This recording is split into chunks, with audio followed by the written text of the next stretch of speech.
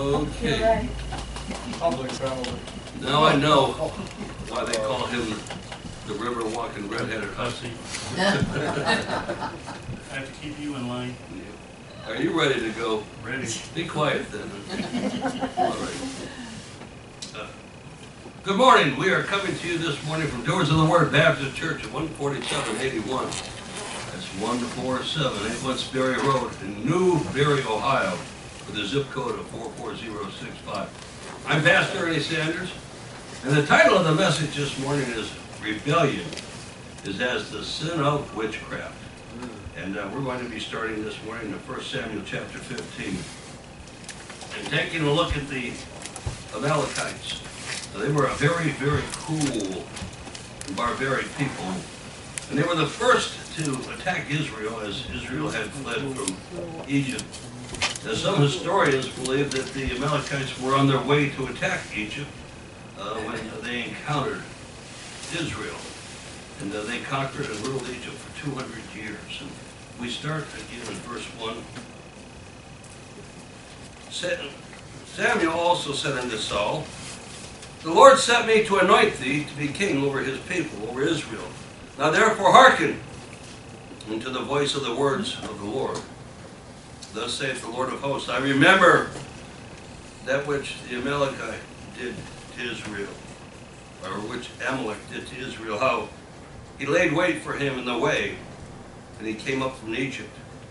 Now go and smite Amalek, and utterly destroy all that they have, and spare them not, but slay both men, man and woman, and infant, and suckling ox and sheep, camel and ass. You know, that's a, one of the most controversial passages of Scripture there. And the liberals will always use these first three verses to try to justify condemning God. Whenever you condemn what communism or what the radical Islam does, they try to use these. We'll, we'll take a look at that as we go through this message. And uh, here we find out that the Amalekites would continually attack Israel. If you, if you turn over to Exodus, went all the way back to Exodus chapter 17. In Exodus chapter 17, I want to read verses 8 through 16. Then came Amalek and fought with Israel in Rephidim. And Moses said unto Joshua, Choose us out men, and go out and fight with Amalek. Tomorrow I will stand on the top of the hill with the rod of God in mine hand. So Joshua did as Moses had said to him and fought with Amalek. And Moses and Aaron and Hur went up to the top of the hill. And it came to pass that when Moses held up his hand, that Israel prevailed. And when he let down his hand, Amalek prevailed. But Moses' hands were heavy, and they took a stone and put it under him. And he sat therein, and Aaron and Hur stayed up his hands, the one on one side and the other on the other side. And his hands were steady until the going down of the sun. And Joshua discomfited Amalek and his people with the edge of the sword. And the Lord said unto Moses, Write this for a memorial on a book, and rehearse it in the ears of Joshua, for I will utterly put out the remembrance of Amalek from under heaven. And Moses built an altar and called the name of it Jehovah, Jehovah Nissi, Jehovah Nissi. He said, Because the Lord hath sworn that the Lord will have war with Amalek from generation to generation. So here we see, uh, in fact, if you if you turn over to Deuteronomy chapter 25, and in Deuteronomy chapter 25, I want to read verses 17 through 19. Remember what Amalek did unto thee by the way when you were come forth out of Egypt? How he met thee by the way and smote the hindmost of thee, even all that were feeble behind thee, when thou wast faint and weary and feared not God. Therefore it shall be when the Lord thy God hath given thee rest from all thine enemies round about in the land which the Lord thy God giveth thee for an inheritance to possess it, And thou shalt blot out the remembrance of Amalek from under heaven. Thou shalt not forget it. Well, you see, old, they were, like I said, like the Chaldeans, they were very cruel and heartless. Well, they were like the communists in ISIS are today. And uh, what they did is they, they came in behind and they, they picked on those that had the hardest times, those that could barely keep up, uh, where they slowed down. The elderly people, the, those that were sick, those that were lame, and they slayed and they killed them. And here now, if we go back to chapter 15, we pick it up in verse 5. And Saul came to the city of Amalek and said, Wait in the valley. And Saul said unto the Canaanites, Go depart, get down from among the Amalekites, lest I destroy you with them. For you showed kindness to all the children of Israel when they came up out of Egypt. So the Canaanites departed from among the Amalekites, and Saul smote the, Amal, the Amalekites from Havilah until he cometh to Shur that is over against Egypt. And he took Agag, the king of the Am- Amalekites, alive, and utterly destroyed all the people with the edge of the sword. But Saul and the people spared Agag, and the best of the sheep, and of the oxen, and of the fatlings, and of the lambs, and all that was good. They would not utterly destroy them, but everything that was vile and refused, they destroyed utterly. So here now, Saul had his instructions to destroy everything, not to leave anything alive. Well, somehow along the line, they thought that they could, you know, the people said, know, geez, Saul, and look at all of these sheep and all of these cattle and all of these things. There's, well, there's a whole lot of good things there. Uh, why destroy it? Let's, you know, shouldn't we get the bounty? Folks, if God tells you to do something, just do it. Don't argue. You're not going to win the argument with God, okay? And so Saul kept the best. How did he justify that? Well, he said, we, we're going to use those and we're going to make an offering, a sacrifice to God. God makes it very clear from Genesis to Revelation, obedience is the number one thing he wants. But then on top of that, see, Saul tried to make himself look like a, like a man who was compassionate and, and, a, and so he kept Agag, their king, this wicked man, alive. And it could be that he kept him alive because he, he knew that he was such an adversary, maybe in some strange way, he had some kind of a respect for him because they always did battle. By the way, God didn't send Saul out to destroy the, the entire nation of the Amalekites. He just sent him out to, dis, to destroy the cities, the, those uh, several cities that he sent him to. And so he said, Then came the word of the Lord unto Samuel, saying, It repenteth me that I have set up Saul to be king, for he turned back from following me, and had not performed my commandments, and it grieved Samuel, and he cried unto the Lord all night. Well, see, God knew all along what Saul was going to do. See, God is always, you know, way out ahead of us. You know, we, again, we we have the here and the now. We we see what we have right now, and, and this is all that we can actually claim because we, we can't retrieve. Five minutes ago, we can't ever bring that back. We can't reclaim that, and we may not have five minutes from now. You never can tell what could happen. But God not only is the past, but He sees the past, the present, and the future. He knew what what Saul was going to do. And he always used everything to teach his people a lesson for those people that would be willing to learn. Those people that would be willing to listen and to learn. Remember what he says in Hosea 4 6 My people are destroyed for lack of knowledge. And when Samuel rose up early to meet Saul in the morning, it was told Samuel, saying, Saul came to Carmel, and behold, he set him up a place and has gone about and passed on and gone down to Gilgal.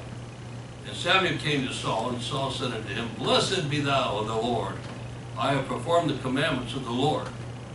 And Samuel said, What meaneth then the bleating of the sheep in mine ears, and the lowing of the oxen which I hear?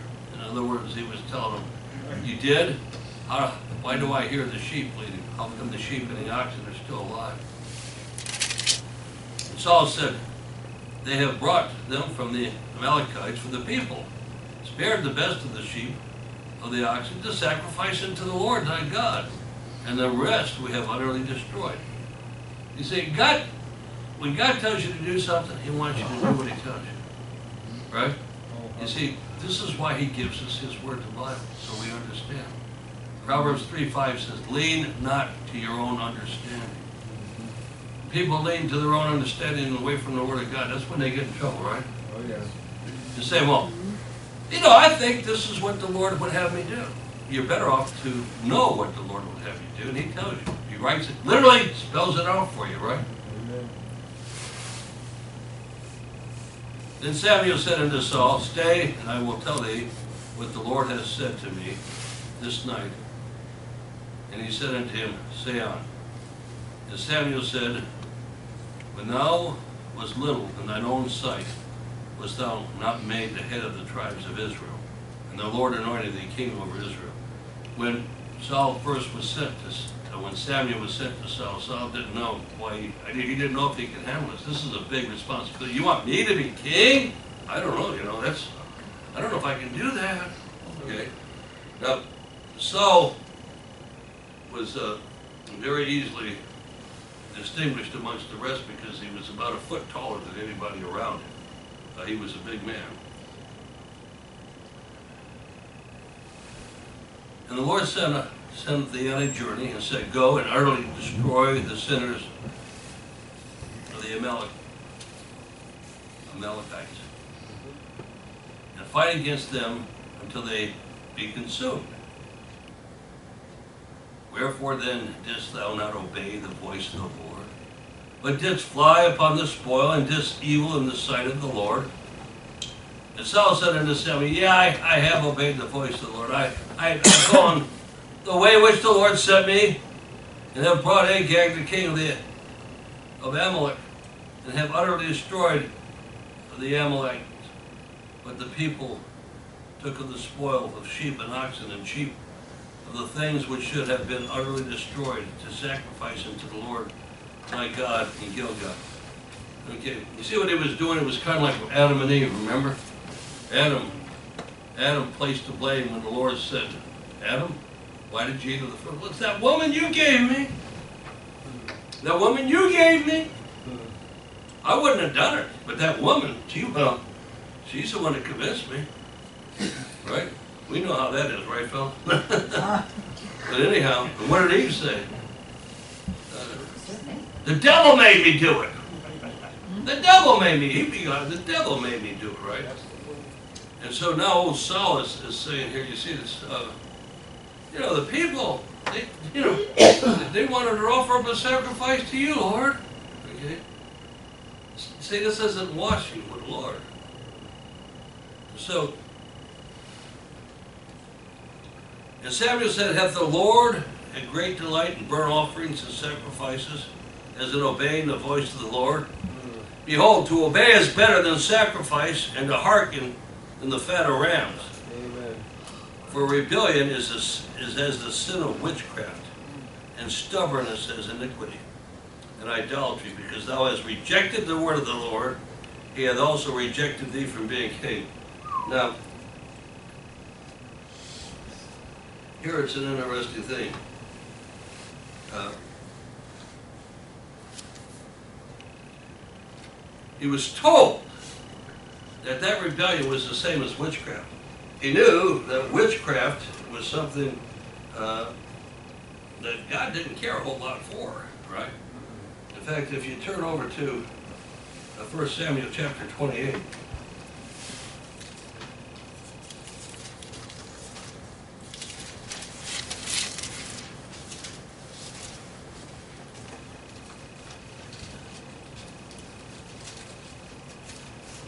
First Samuel chapter 28, starting with verse 1.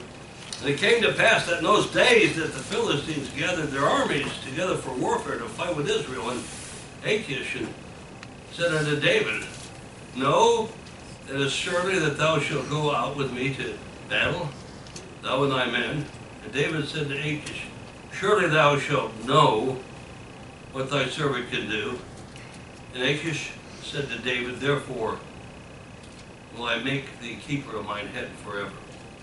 Now Samuel was dead, and all of Israel had lamented him, and buried him at Ramah, even in his own city. And Saul put away those out, and those that had familiar spirits and the wizards of the land. And the Philistines were gathered themselves together, and came and pitched in Shunem. And Saul gathered all of Israel together, and they pitched at Gilboa. And when Saul saw the host of the Philistines, he was afraid, and his heart greatly trembled. And when Saul inquired of the Lord, the Lord answered him not, neither by dreams nor by Urim, nor by the prophets. So now, see, old Saul always had the Lord behind him when he was in obedience. But now in his disobedience, God says, you on your own, boy. In fact, in his disobedience, actually, God became his enemy to a point. So now what does Saul do? So you got two options. One of the options is to, to go before the Lord and repent and repent and repent. Like the king of Nineveh, and hope that God hears you. The other is to try to find another source of information. and this is that was the wrong choice. Then said Saul to the servants, Seek me a woman that hath a familiar spirit, that I may go to her and inquire of her.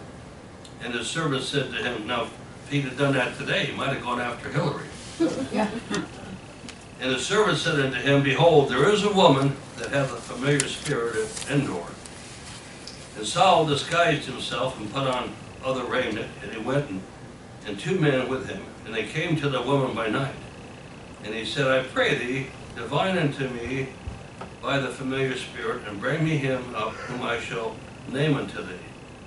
And the woman said unto him, Behold, thou knowest what Saul hath done, how he hath cut off those who have familiar spirits, and the wizards out of the land. Wherefore thou layest thou a snare for my life to cause me to die? And Saul sware to her by the Lord, saying, As the Lord liveth, there shall no punishment happen to thee for this thing. Then said the woman, Whom shall I bring up unto thee? And he said, Bring me up Samuel. And when the woman saw Samuel, she cried with a loud voice. And the woman spake to Saul, saying, Why hast thou deceived me? For thou art Saul. And the king said unto her, Be not afraid, for what sawest thou? And the woman said unto Saul, I saw God's ascending out of the earth. And he said unto her, What form is he of? And she said, An old man coming up, and he is covered with a mantle. And Saul perceived that it was Samuel. And he stooped his face to the ground and bowed himself. And Samuel said to Saul, Why hast thou disquieted me to bring me up? And Saul answered, I am sore distressed from the Philistines make war against me. And God has departed from me, and answereth me no more, neither by the prophets, nor by dreams. Therefore I have called thee, that thou mayest make known unto me what I shall do. Then Samuel, wherefore then dost thou ask of me, seeing the Lord is departed from thee, and is become thine enemy? And the Lord hath done to him as he spake by me. For the Lord hath rent the kingdom of thy hand, out of thy hand, and given it to thy neighbor, even to David, because thou obeyest not the voice of the Lord, nor executest his fierce wrath upon Amalek. Therefore hath the Lord done this thing unto thee this day. Moreover, the Lord will also deliver Israel with thee unto the hand of the Philistines, and tomorrow shalt thou and thy sons be with thee. And the Lord shall deliver the host of Israel unto the hand of the Philistines. Then Saul fell straightway all along on the earth and was sore afraid because of the words of Samuel. And there was no strength in him, for he had eaten no bread all that day nor, nor all the night. And the woman coming to Saul, and saw he was troubled, and said unto him, Behold, thy handmaid hath obeyed thy voice. I have put my life in thy hand, and have hearkened unto thy words, which thou speakest unto me. Now therefore I pray thee, hearken thou also unto the voice of thine handmaid, and let me set a morsel of bread before her thee, and eat that thou mayest have strength when thou goest on thy way. But he refused and said, I will not eat But his servants together with the woman compelled him. And he hearkened unto her voice. So he rose from the earth and sat upon the bed. And the woman had a fat calf in the house, and she hasted and killed it, and took flour and kneaded it, and did bake unleavened bread thereof. And she brought it before Saul and his servants, before his servants. And they did eat. Then they rose up and went away that night. Well, now you see here, the old witch of Endor was very, very surprised when Samuel came up. Do you know why that is, folks? First of all, absent from the body, present with the Lord. Now, this was a very, very special case that God allowed Samuel to be returned. You see, most of those people brought up from beneath, they not, those people were not from heaven. They were not God's people, not saved people. But in this case, this is where the old witch, uh, she expected to be one of the demonic spirits that she was going to raise up. And boy, when she saw it was Samuel himself, she knew then that it was the Lord that had done that. And uh, folks, it's a fearful, fearful thing to fall into the hand of the living God. She thinks she had something to fear with Saul. By the way, Saul had gone out and he had killed off all the soothsayers and all the spiritualists in the land. He'd, he'd killed them all off. And this was one of the few that was still around. And so, when God sent him out again to destroy the, the Amalekites, he didn't destroy the entire nation. That would come much later. In fact, if you turn over to 2 Samuel chapter 1, you see that Saul himself was later killed by an Amalekite. We start in verse 5, 2 Samuel chapter 1, verse 5. And David said unto the young man that told him, How knowest that Saul and Jonathan his son be dead? And the young man that told him said, As I happened by chance upon Mount Gilboa, behold, Saul leaned upon his spear, and lo, the chariots and his horsemen followed hard after him. And when he looked behind him, he saw me, and called unto me. And I answered him, Here I am. And he said unto me, Who art thou? And I answered him, I am an Amalekite. And he said unto me again, Stand, I pray thee, upon me, and slay me, for anguish is come upon me, because my life is yet whole of me. Now, what he was saying was this, that he was wounded. Saul had become wounded very seriously, but he was far from being dead. And he knew that if he got captured by the enemy, uh, he'd, he'd be much better off to be dead than to be captured by the enemy. And so he told this Amalekite, this young man, I want you to stand over me and kill me now. Uh, there was nothing to make the Amalekites any happier than to kill the, the Israelis, right? And so, so I stood upon him and slew him because I was sure that he could not live after that he was fallen. And I took the crown that was upon his head and the bra- bracelet that was on his arm and brought them hither unto my Lord. Well, he figured, look, uh, they, were- they weren't getting the best part of this battle, and he would be better off if he somehow found the favor of David, because David was, uh, was whipping up, he, he was doing a big job uh, on the Amalekites. Then David took hold on his clothes and rent them, and likewise all the men that were with him. And they mourned and wept and fasted until evening for Saul and for his Jonathan his son, and for the people of the Lord, and for the house of Israel, because they were fallen by the sword. And David said unto the young man, that old that told him, Whence art thou? And he answered, I am the son of a stranger, and Amalekite. And David said unto him, How wast thou not afraid to stretch forth thine hand and destroy the Lord's anointed? Hmm. Well, over in Numbers 12, 8, I believe it is, it says, Touch not God's anointed. Touch not God's anointed. And this might be a message that uh, some of you need to send today. I'm going to give you the phone number. Roy Moore is a, a very godly man, as, as a Supreme Court Justice in Alabama. And the communists are trying to remove him, and I'm gonna give you a phone number, I need you all to call there and let them know, and just say to them, touch not God's anointing. You need to do that. I'm gonna give you the governor's number and the- the head of this judiciary committee there. And David called one of the young men and said, go near and fall upon him, and he smote him that he died. Well anyhow, so David had that young man killed, the one that killed Saul, because he touched God's anointing.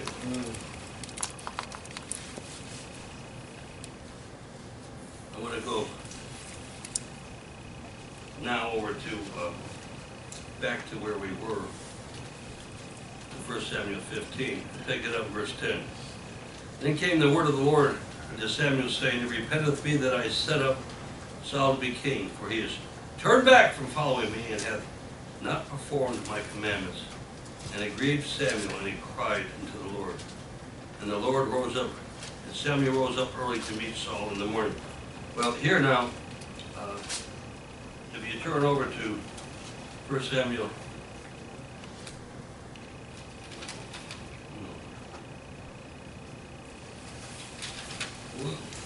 I think I'm just gonna stop right there because I've already read it through.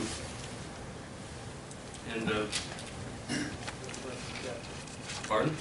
Read the whole chapter. Right. Read the chapter. And so, here I want to take a look at, at this and do some comparison with current events. Now, again, the liberals often use verses one through nine to judge God, in 1 Samuel fifteen. And they say, how in the world could God, how in the world could God send them in and to kill all of those people? uh, Especially, how could God kill the little babies? How could you how can you preach against us and call us murderers because we kill babies by abortion when God set his armies in to make war? First of all, uh, listen, the liberals have no more credibility or authority to, to judge God than a flea has to judge us when we step on okay? And first, and second of all, look, God is totally holy. God is totally just. And there is no one, no one uh, that has as much compassion on people uh, as God. And He knows what the future is. And for all of those little children that He takes home early, believe me, uh, when they leave this world, they go right to be with the bosom of the Lord. They go right to be to a much, much better place. And He spares those innocent children uh, from the life that they would probably have living under the cruel, cruel heathen Amalekites. Now, in 2012, at the Democratic or Communist Party convention, the mention of God, just the mention, when, when God was mentioned, it brought on a whole chorus of boos. The whole place started booing. And then uh, the liberals, a rebellious, godless people, like the Amalekites, and all of their simple mindedness, thought that they could escape God's righteous judgment by voting him out of out of their party and out of their convention. What they failed to understand all of their feeble mindedness was that God was never in their party to begin with. From the uh, days when the Ku Klux Klan was the enforcement arm of the party until now, they have been totally void of God. Like the Amalekites, they, the liberals, would eventually be utterly destroyed. And God uh, did eventually destroy them, and He will eventually destroy all of those today that we call liberals, the ones that refuse to repent. In fact, if you turn to Matthew chapter 25, in Matthew chapter 25, verses 31 through 45. And when the Son of Man shall come in his glory, and all the holy angels with him, then shall he sit upon the throne of his glory. And before him shall be gathered all the nations, and he shall separate them one from another, as a shepherd divideth his sheep from the goats. And he shall set the, set the sheep on the right hand, but the goats on the left. Then shall the king say unto them on his right hand, Come ye, my blessed of my father, inherit the kingdom prepared for you from the foundation of the world. For I was a hungered and you gave me meat. I was thirsty and you gave me drink. I was a stranger and you took me in. Naked and you clothed me. I was sick and you visited me. I was in prison and you came into me. Then shall the righteous answer him and say, Lord, when saw we thee a hungered or fed thee or thirsty and gave thee drink? When saw we thee a stranger and took thee in, or naked and clothed thee? Or when saw we thee sick or in prison and came unto thee? And the king shall answer and say unto them, Verily I say unto you, inasmuch as you've done it unto one of the least of these, my brethren, you've done it unto me. Now, during the tribulation period, all of those that uh, befriend the Christians and Jews that are being sought for extermination, well, like they are today, Christians and Jews today are being sought for extermination by the Muslims and the communists. And I can tell you this, if you don't think it, I know a lot of you, it's, hard for some of you to understand, but if there's people, if the Obamas and the Hillarys could, if they could do it today, they would eliminate us, okay? Yep. Uh, one of Obama's mentors, Bill Ayers, said back in the 70s, and I remember when he said it, that they needed to eliminate at least 25 million people, those that were the strong, those strong conservative Christians that were in a place of authority. Well, take that forward to today, and it would probably be 75 million that they would have, they would like to exterminate. And so, so what he's telling you here, those that, uh, those that helped, those that came to the aid of those that were uh, marked for extermination, those were the ones that got saved. And, the, and uh, they will sit at the right hand of the Lord. When they've done it as much to the least of mine, you've done it unto me. Then shall he say also unto them on the left hand, Depart from me, ye cursed, unto everlasting fire prepared for the devil and his angels. For I was a hungered, and ye gave me no meat. I was thirsty, and ye gave me no drink. I was a stranger, and you took me not in. Naked, and ye clothed me not. Sick, and in prison, and visited me not. Then shall they also answer him, saying unto him, Lord, when saw they a hungry, a hungered, or a thirst, or a stranger, or naked, or sick, or, or in prison, and did not minister unto thee? Then shall he answer them, saying, Verily I say unto you, inasmuch as you did it not to one of the least of mine, you did it not unto me. No, there are those out there today in your, the apostate church. The apostate church, they preach a whole different Jesus than we preach. This is, these are the words of the Lord Jesus himself, right here. Now, if you think that I'm a hellfire brimstone preacher, uh, listen, I would sound very meek and mild compared to what our Lord preached. Amen. And uh, I could never, you see, have the the authority to preach like the Lord Jesus did. I'm preaching what the, these are the words. He literally spelled it out. This isn't my sermon, it belongs to God. And I'm preaching His words there. And folks, I'm going to tell you, what did He say? Heaven and earth will pass, but His words will never pass. That'll happen. Now, everywhere it's an interesting thing you find in Scripture where the left is involved, okay, uh, the left ends up going south, going to hell. I mean, if you go back, you go to start Ecclesiastes chapter 10, verse 2. It said, Those on his right, those on the right hand, that uh, will follow his right. That a godly man, a good man, a righteous man will follow the ways of the right. But the wicked will follow the ways, will turn towards their left. Then he tells you right here, those in fact, again, how many times we mentioned to how Obama, when, when they came out and they had the uh, Matthew 25 coalition, the religious left, they thought that they were going to totally get away with this because the people are so biblically illiterate, they'll never, never pick up on it. But I, I, I picked up on it right away, and I started telling people, so you want to know who they are? And I started preaching, other uh, preachers, radio preachers started picking it up, and they pulled the ads right away when it started going on, who they really were. Those on the left will spend eternity. And today, if you happen to be, believe in God, if you happen to be uh, someone who is Proverbs 28:1 says, the righteous are as bold as lions.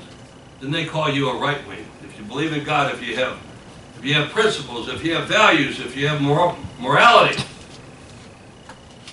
if you believe in decency, they call you a right wing fanatic. But if you embrace everything that God's word, the Bible calls you sin, they call you a left wing, like the Communist Party. That's right. And so all through Scripture, from Ecclesiastes chapter 10, to the two thieves, the one on the right entered into the kingdom, the one on the left was the one that denied Christ. Here we see this, that those on the right will inherit the kingdom of God, and those on the left will wish they had. And so, here, all of those liberals out there today that still think that they can judge God, well, as you just read, they're going to be judged by that very God that they thought that they could judge. Turn over to Revelation 20. I want to start in verse Revelation 20 and uh, start in verse 1. And I saw an angel come down from heaven, having the key of the bottomless pit and a great chain in his hand. And he laid hold on the dragon, that the old serpent, which is the devil, and Satan, and bound him a thousand years, and cast him into the bottomless pit, and shut him up, and set a seal upon him, that he should deceive the nations no more, till the thousand years should be fulfilled. And after that he must be loosed a little season.